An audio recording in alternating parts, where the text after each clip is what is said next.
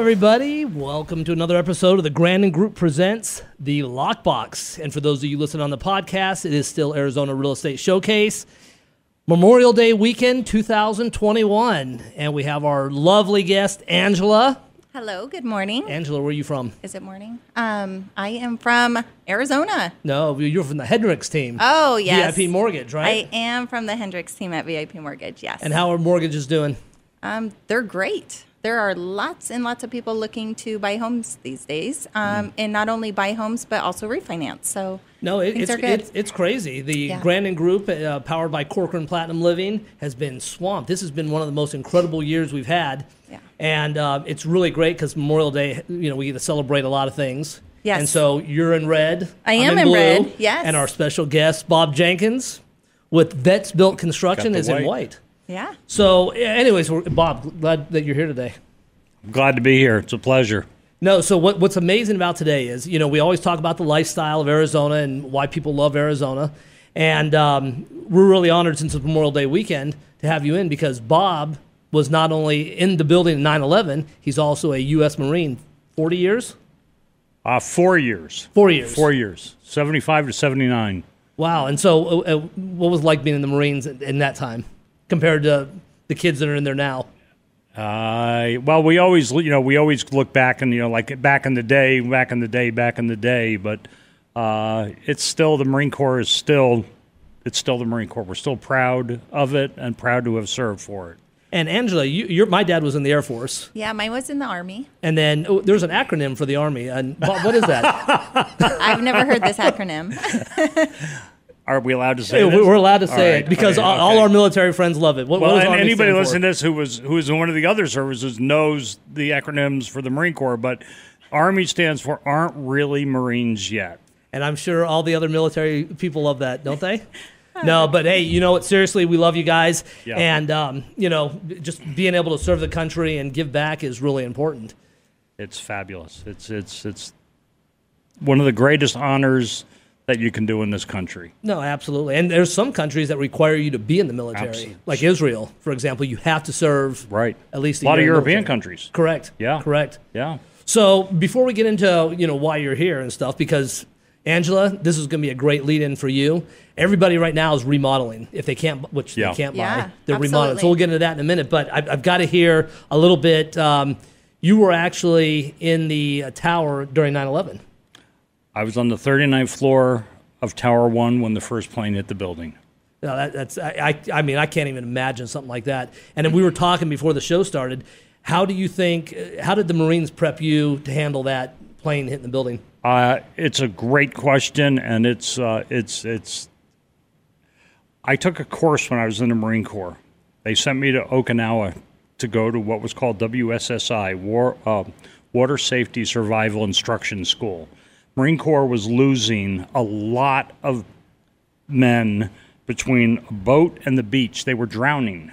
And the Marine Corps made the decision that every Marine would be basic water qualified in survival, at least know how to float and swim a little bit. So they sent us to the school. We were the first class to learn how. We were the we were taught to be the instructors and then we'd go back to our bases and we would then teach Marines how to survive. It was some of the most rigorous training that I did in the Marine Corps. It was incredible, really, really, really good. But one of the classes we took one day, we had a gunnery sergeant that would jump on your back while you're in the water and try and drown you. And he was really good at what he did. And the, the, the, the point, the lesson that you learned after going through this for a while was panic is what kills people. And so they taught us how to fight that urge, how to fight panic. When it happens, you can feel the adrenaline kick in. You can, you can, anybody in this room who's ever been in that position, you can feel it. You know it's coming on. They taught us to to acknowledge it and immediately shut it down. And so when the plane hit the building and that building started swaying, and you know what hit the fan, everyone in the room that I was with, I could see their eyes. I were sitting at a table, you know, very like where we're at right now, and I could see all of these people. And the building then started to convulse wildly, which is what a lot of people don't know. And I watched these guys, and I could see the panic in their eyes, and then they all just got up and started to run. And I thought, Bob, you need to stay really cool. You're on the 39th floor of the World Trade Center in downtown Manhattan. Um, it's not an earthquake. Earthquakes don't explode. Because I was combat engineer in the Marine Corps, I had uh, part of my job, a big part of my job, was mines, demolitions, um, construction, and we did a lot of demolition work. So I knew what demolitions felt like. I knew what it smelled like, uh, the whole thing. And so I watched these guys get up and run, and I literally just sat in my chair like I am right now, and I said, Bob, you need to stay really, really cool. Um, it's not an earthquake. I grew up in and around Manhattan. I knew it wasn't an earthquake. Earthquakes don't explode. I felt the percussion come down through the building like a bomb had gone off. And so I just sat there and I just waited. And I said, You got to stay cool. And I thought, well, you know, they always teach you to get underneath the doors, you know, the frame of a door for security. And I laughed at that. I thought, yeah, you're on the 39th floor. You got 90, 70 floors on top of you. That door frame is not going to do any good. And so I literally just sat there and waited until I was calm. The building was convulsing back and forth. There were chairs falling, computers coming off desks. Walking on the floor was like walking on jello. And I managed to get over to the windows. Um, and as I got to the windows, I looked out the window, and literally off to my left, down in the harbor, I was looking at the Statue of Liberty. The Hudson River was right in front of me. The piers, uh, the Ninth Avenue piers, were right there. I could see the um, New Jersey, the Palisades Cliffs, and I could almost see Chicago because it was so clear. And I remember looking up at the sky and I saw the white paper, ticker tape. That's what it looked like snowflakes, ticker tape, from where the upper floors had been blown out. And the white against the cobalt blue was just beautiful. And I stuck my hands deep in my pockets and I looked down and I looked at the ground and I said out loud, So this is where I die and I was completely at peace with it. I knew that the building was going to topple over, and I knew that there was nothing I could do. And I said, So this is where I die. And uh, it was a very peaceful feeling. Then, thank God, the building stopped convulsing. and as the building stopped convulsing, I heard a woman yell, There's been an explosion in the mechanical room on the 42nd floor. So I thought, okay, the building's not shaking anymore and it's three stories above me. So I'm getting out of here. And the only thing I had in my hand was um, uh, a notebook. And I don't mean an iPad notebook. I had literally like, you know, pen and paper notebook. Right. And I was supposed to go to Toronto that night. And so I uh, just grabbed the notebook. My overnight bag, my computer were still in the conference room. And I went over to the stairway and I opened the door to the stairway and I literally had to do a double take. When I opened that door to the stairway and I looked in, it was completely, completely full of people. And I literally did, you know, a double take and went, where did all these people come from?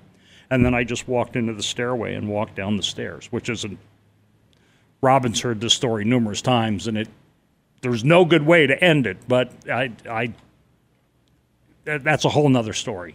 No, that's that's that's amazing. It's uh, you never get to hear real life stories like this from people. So, what brought you to Arizona? I uh, after 9/11, and I, I, used to sell video conferencing equipment, and we were selling a, a, a desktop, an IP video desktop solution to Lehman Brothers. And um, after 9/11, people ironically thought video was going to explode and take no pun intended, take off. Mm-hmm. And it didn't. It, I, Cisco was the big dog, and a lot of other things happened, and so video actually kind of imploded. Uh, you heard a lot about it. You know, the president's doing a video conference. You heard a lot about it, but it really didn't do anything. And so I got out of the industry and went back into construction. I started building, and I was doing a lot of flipping uh, buildings in uh, in Charlestown, right outside Boston. And so I got back into that, became a dealer for a home builder, and uh, did really, really, really well for years. And then I saw the construction industry start to crash. And um, I had another company that I was running, and uh, it all just fell apart. Literally, literally just fell apart. And uh, so I said, well, if I'm going to start over, I'm not doing it freezing my butt off in New England again. I have family that live in Phoenix. I'm going to go out. At least it's warm out there. And I literally packed everything that I owned, and I had a Toyota 4Runner, and I packed up and I drove cross country in my 4Runner looking like Jed Clampett, and uh, moved out here and started completely over. And I started Vets Built Contracting with my younger brother DJ, and uh, we started off kind of as a handyman business, and very quickly said, you know, you can't make the kind of business that we want doing that. You've got to be a general contractor, which is what I'd done in Boston. And so here we are six years later, and we're doing extremely well. No, that's great. And Arizona's a fantastic market for construction. I mean, it just seems like it's never going to end. What, what do you? Uh, you get a lot of people that are remodeling, or are you doing full builds from top to bottom? A little bit, a little bit of everything. Uh, our brand is doing really well because when we started Vets Built, thus the name Vets Built, um, we the goal was to immediately look for and hire and put veterans to work. So we've probably got about 50 subcontractors in our pool and out of those 50 subcontractors, we probably have about 40% of them are veterans, veteran owned. Uh, one example is uh, my electrician. John is not a veteran, but Travis is a Marine. So when I do jobs, I always ask John to send Travis down. We can't always do it, but we try, and we always try to put our veterans on our jobs and hire. Then we also donate money, time, and effort to a lot of veteran causes. No, that's great. And do you find that Arizona's been really receptive to having a veteran-owned company? Absolutely, absolutely. Uh, you know, I mean, you know, money's money, and and you know, people are conscious of budgets and what have you. But if it comes to us and another general contractor doing the same type of work, uh, chances are good we're going to win it. And then, what do you? What kind of response are you getting from veterans around the country for having a veteran-owned business? You know, that's a great question. Around the country, not yet. Although we have discussed trying to take this and and and literally uh, replicating it and franchising Vets Built. Um, it's a lot of work to do. It's not that it can't be done. Franchises are done every day, um, b- but it's something that we've discussed doing this across the country. And so, Angela, you guys at uh, VIP Mortgage are able to help provide a lot of the people that are buying homes refinance. Yeah, right? absolutely. Or cash out refis. Yep. If you're looking to refinance because you do want to do some remodeling, um, now's a really great time. Uh, you know, values here have gone up tremendously, so a lot of homeowners have quite a bit of equity. So it really is a great time to refinance with the Hendrick team, pull out that money, and then you know go and do your remodeling um, of your home, add a room, um, update your kitchen, you know, whatever. So, Bob, you, you guys don't do general small stuff like hang ceiling fans. You're more of remodel and big jobs. Yeah, with the, that the, we we kind of started off the handyman stuff doing that, and then as I said, very quickly uh, we got away from it. So we're doing uh, we do a lot of remodels. Like our our our our basic bread and butter kind of business is uh, go in and gut a kitchen, all new cabinets, new ceiling lights, um, countertops all appliances, plumbing, electric, etc. And usually like in the thirty thirty thousand dollar range for a kitchen, and that's kind of our bread and butter for that. A master bath, uh, gut it, new tile, pan, fixtures, everything in the eh, eight to probably ten thousand dollar range. And then you know we we did a couple jobs last year. One was three hundred and sixty thousand. Uh, another was two two fifty. Um, so we've done a couple of you know pretty good sized projects as well. No, that's great, and you're supporting veterans while you're doing it. And Yeah. we support veterans. So now Bob lives up in Carefree, carefree. correct? So how'd you end up in Carefree? Because Carefree is the north part of the valley. It's a spectacular part. So it's kind of like a suburb of Scottsdale, but not. Yeah. Uh, you got Cave Creek, Carefree. Yeah. So uh, how do you like that lifestyle up there? I love carefree. I I I really do. Um, you know, it's funny that I grew up in New England. And when I got out of the Marine Corps, I was in school in Boston. I lived in New York City. I've been in and around cities my entire life. And never, ever did I dream that I would be a small town guy. It just wasn't not going to happen. I love small town. And, Carefree is actually a really fast growing area. Prices Yes. are ridiculous. But one of the things about Carefree is you have to go to the post office to get your mail. That's and the fun that comes with that when you sign up for something, pick anything, and you say, "I don't have a physical address here. Everything has to be delivered to the post office," and they still there are certain places that want your physical address, and then they're going to mail something to that address, and you're not going to get it. Right. It'll drive you a little bonkers. But still a great place. It's and it a great place. It borders Cave Creek, so you can head over to Cave Creek and enjoy. I, I'm a mile from Harold's. It, it's it's fun. fantastic. So i- your company works all over Arizona. Uh, all over the valley. Um, I don't think we've gone as far as Tucson, uh, Queen Creek. We did a job down there a couple of years ago, and then quickly realized that you know time is money, and uh, you know it's funny. People will contact us, and they'll be outside that perimeter that we will work in.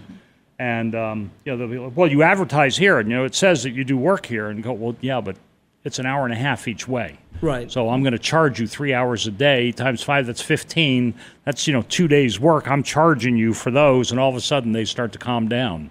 Right. Like, well, maybe we'll find someone a little bit closer. Well, and in this market too, it's I mean it's tough to find solid guys, and all your guys are uh, general contractors and have been through the construction trade. Pretty, yeah, yep, and y- yes.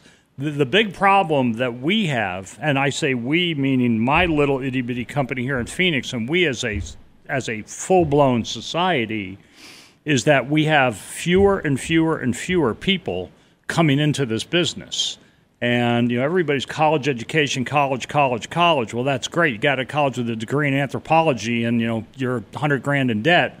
Uh, but that's not going to do much for you. We have a ten-year knowledge gap in this business right now, and it's just growing every year. And sooner or later, people go, "Well, that, you know, that's not a big deal. You know, the light bulb goes in my house, someone will come change it." Well, yeah, in your house, that's right. What do you do when the grid in Phoenix goes down and your electricians you don't have somebody that knows how to fix that. Or you have a water main break, you know, in the middle of Scottsdale, and you don't have plumbers that know how to fix it. You know, and infrastructure, welders, every single person in these trades, we need to start bringing young people in and doing it. And we're, we're losing them. I mean, we are losing them really fast. There's contractors around the valley now that are stealing guys from other job sites. I've heard stories of people, you know, going to an architect and saying, "What do you get paid?" Well, you know, we'll pay you this plus this, Right. Because you can't find people. So we have a real, real need um, to do that. There's a couple schools, uh, EVIT, East Valley Institute of Technology, uh, West Tech is another one. Um, I contacted uh, EVIT not long ago and uh, the guy that I contacted there was a former Marine, and he walked in front of his class and said, "Hey, I've got a contractor that's looking for." And two of the young guys in the class stood up, contacted us. One of them is now working full time for my cabinet guy, and he says it's fabulous. But we need many, many, many, many, many more people like that. Well, and as a veteran, uh, the military offers this kind of training as well. The, so the military offers it when you're in, and the good news is, is, is the VA will pay for that training. So anybody, eh, you get me a started. One of the things that we did when we, we started Vets Built was I also wanted to go out and start finding homeless vets and getting them off the street, getting them a place to live, getting them in school, showing them what their VA benefits are, because a lot of them have no idea they even have VA benefits, which could include things for post-traumatic stress, you know, whatever might other disorders, things might be wrong, but they'd actually have some money coming in through the VA, and then get them into a school like EVIT. And two or three years later, we could have these guys out. You know, electricians, plumbers are making really good money. A, a basic carpenter right now is making about 20 bucks an hour. Uh, a good plumber is making 35 40 electricians are making 40 50 dollars an hour some of these guys are making 60 bucks i talked to these guys one of them's up in alaska fishing as we speak right now i'm not in alaska fishing at the moment uh, I'd like to my be in Alaska. Me too. my, my electrician took his whole family to Hawaii on vacation not long ago. So anybody who thinks that these are dirty jobs below them, think again. You know, these are really good, skilled, high paying jobs, and we need people desperately. And we, not not just me and my business, we You guys, the whole country, we need these people because when we run out of them, there ain't going to be anybody around that knows how to fix this stuff, and we're going to be in a real problem. No, absolutely, absolutely. So, uh, Bob, what's the best way for everyone to reach you? Give them the website and your number. Here's my phone number. No, no, no, no, no. no. And I- hey, I we want them to call it, and you know, we lo- we love it when hey, people speaking use of phone vets. numbers, I just I just signed up for this thing called RoboCall the other day. It works great. Twenty times a day, I see this thing pop up, and it goes this number, and we don't recognize it, and um, I'm happy. So yeah, the best way is uh, Bob at vetsbuilt.com. B O B at vets. Uh, v as in veteran, E as in echo, T as in tango, S as in Sam, built, B U I L T dot com.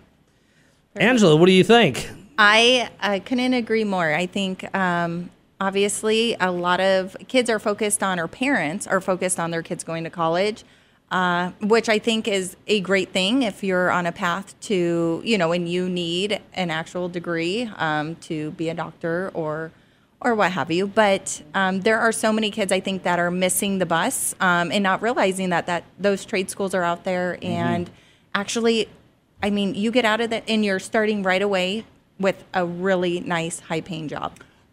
So, L- low debt Yeah. and high paying job. Put those two pieces Right. together. exactly. I, yeah, I completely agree. And for those of you that are looking to maybe hire Bob and refinance your house, right? Yeah, Angela, how can they reach out to the Hendricks team? They can give us a call. Uh, our number is 623 979 5523. Or obviously, they can email us as well, uh, Hendrick Team at VIPMTGINC.com.